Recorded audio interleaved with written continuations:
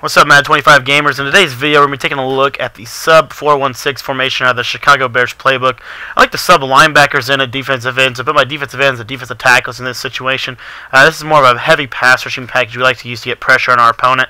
The play we're going to be taking a look at today is the Sugar 3 seam. It's uh, one of the better plays in the game because it's so simple to set up the pressure, and uh, that's why I feel really good about breaking it down on today's Blitz of the Day segment.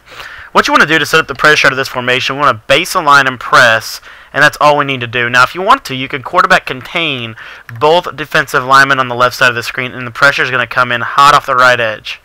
And as I say that, it doesn't come in.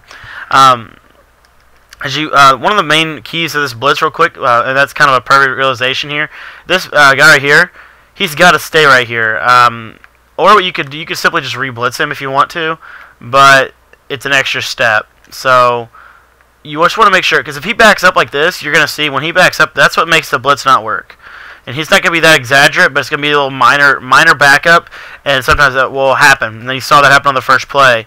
So if you want to just be sure, you can always just re-blitz him, and then you're going to see. I mean, the contains will work. Uh, it's just that blitz angle is kind of tender. Uh, that's the one problem I think I foresee with this blitz is it's, it's not 100% because of the blitz angle. So you could just simply re-blitz him yourself if you wanted it to. See right there, you see how he backed up? No, he needs to be right on the hip, okay? So just just know that, okay? And uh, you're going to see here at the snap of the ball, we're going to get that pressure off the right edge. So this is one of the better plays in the game because of how easy it is to set up.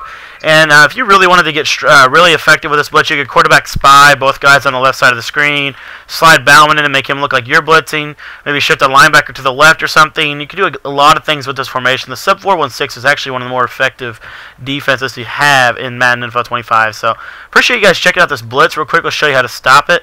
Um, if the opponent blocks a running back, it's going to stop this blitz, unfortunately. Um, that's one of the problems with the BC.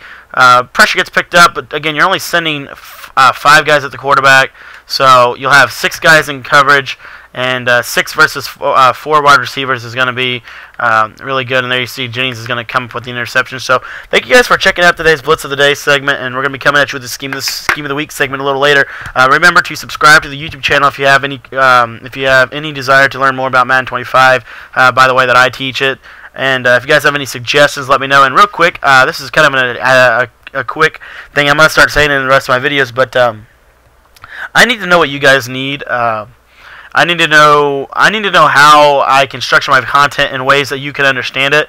Um, and that's one of the biggest issues right now is I, I want to have really good defensive tips and really good offensive tips to share, but I'm kind of struggling right now with communicating them to you because some of you guys don't um, you don't always understand what I'm saying and and I know that it's hard for you guys because it's like, yeah, I don't know what the crap this guy's saying, and it's hard for me because it's like I don't know, like I don't want to, I don't want to dumb it down, uh, because I, you know, I just want, I want you guys to have the best tips out, uh, but I'm going to try to do a better job of that, and uh, I uh, hope you guys can help me with that. And what you can do to help me with that is let me know specifically what you need help with in Madden 25.